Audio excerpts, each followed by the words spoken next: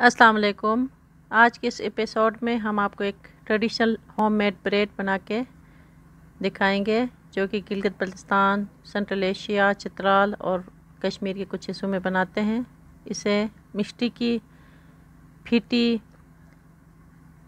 और साथ में कुमुजदनी कहते हैं, और इसके लिए हमें चाहिए होगा सबसे पहले गंदम या मकई का आटा।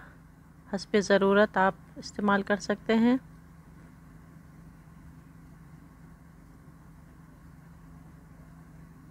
ये मैं मकई का आटा ले रही हूँ, साथ में अंडे हैं, खमीर है, देसी घी, नमक, मिल्क और पानी। और आप अगर खमीर यूज़ नहीं करना चाहें तो आप यीस्ट इस्तेमाल कर सकते हैं। अब हम देसी घी, दो टेबल स्पून आप डाल रही हूँ। अगर आप चाहें तो आप इसका मकदार बढ़ा सकते हैं। दो अंडे इसमें तोड़ के आप मिक्स करेंगे।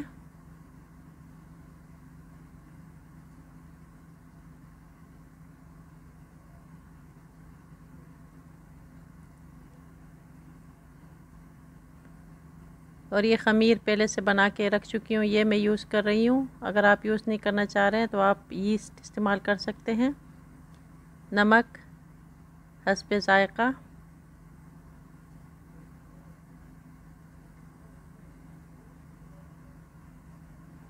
और एक कप फुल क्रीम मिल्क आप यूज़ कर सकते हैं। और पानी, नीम गर्म पानी हो, हसब, ज़रूरत। अब हम इसे आटा गूंद देंगे।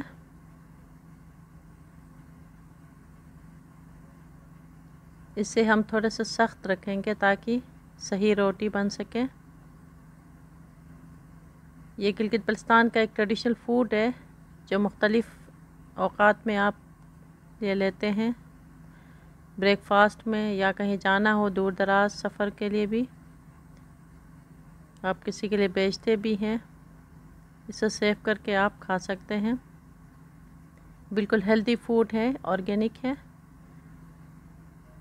ये हम आटा गूंद चुके हैं और थोड़ा सा इसको सख्त रखा है ताकि ये अच्छी तरह से रोटी बन सके। और बाद में जब ये तैयार हो जाएगा तो उसमें लाइनें पड़ने शुरू हो जाएँगे और साथ में इसका खुशबू भी आएगा।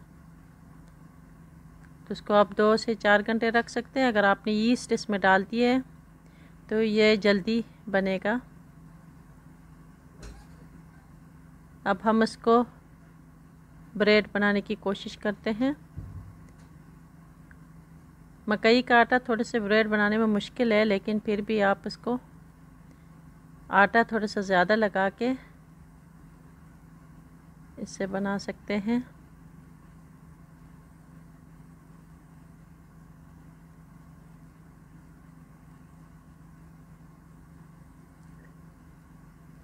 या मुल्क से बाहर या शहरों में जो लोग रहते हैं, वो ये बना के ओवन में पका सकते हैं और ये मैं ओवन में बना के आपको दिखा रही हूँ।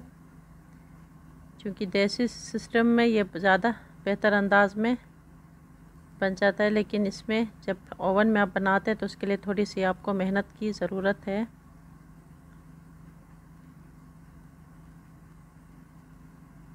इसको हम बिल्कुल केक की तरह बना चुके हैं।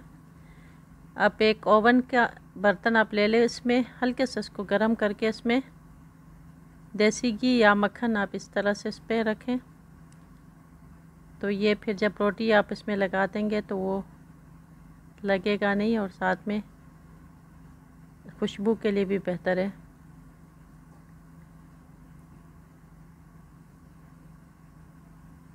अब ये ब्रेड हम इसमें डाल देंगे। और इसमें इसको हाथ से अच्छी तरह से इसमें बराबर कर लेंगे ताकि सही मकदार में पक सके। साइडों से भी इसे लगाने की कोशिश कर रहे थे कि साइड से भी ये पक सके, इसलिए देखें आप, आपको अंदाज़ा होगा। अब इसमें हल्के से आप, इसमें सुराख या कोई इस चीज़ से आप इस तरह बना सकते हैं ताकि ये फूलने का ख़तरा ना हो और बराबर पक सके। इसका ढक्कन जो देंगे, आप सेम साइज़ का आपका इसी तरह का ये बर्तन ढक्कन दे ताकि उसको अगर उल्टे साइड पे भी आप उसको पकाना चाहें तो कर सकते हैं।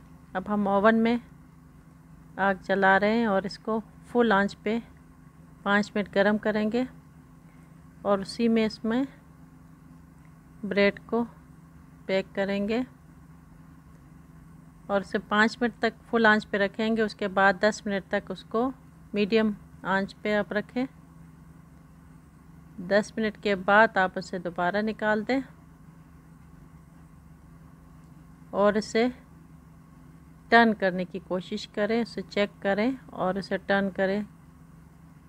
ये आप देख रहे हैं, क्योंकि सेम साइज़ का जो है इसका ढक्कन हमने रखा है ताकि ये टर्न ईज़िली हो सकते और इसमें अगर कमी बेशी रह गया है तो उसको आप, इसको आप सेट करें और जिस जो पोर्शन अभी नहीं ज़्यादा पका है उसको अच्छी तरह से दोबारा से पकने दें। इसके बाद आप इसे कम से कम 10-15 मिनट जो है हल्के आँच पे आप उसे पकने दें तो आप ये देख सकते हैं। ये रोटी बन चुकी है, bread, traditional food of Gilgit Baltistan चुपाटी, मिष्टी की इसको आप मुख्तलिफ़ ज़बानों में कहते हैं, फीटी कहते हैं वक़ी में इसको कुमजदनी कहते हैं। और ये वहाँ का पसंदीदा खुराक है, से स्पेशली ब्रेकफास्ट में नमकीन चाय के साथ लोग यूज़ करते हैं, खाते हैं। और दूर दराज सफ़र के दौरान भी अपने साथ ले जाते हैं। और ये बहुत ही मज़ेदार ब्रेड है। होममेड ब्रेड है, ऑर्गेनिक फ़ूड है। उम्मीद है आप ये वीडियो पसंद करेंगे। जयपार मीर को इजाज़त दीजिए। अल्लाह हाफिज़।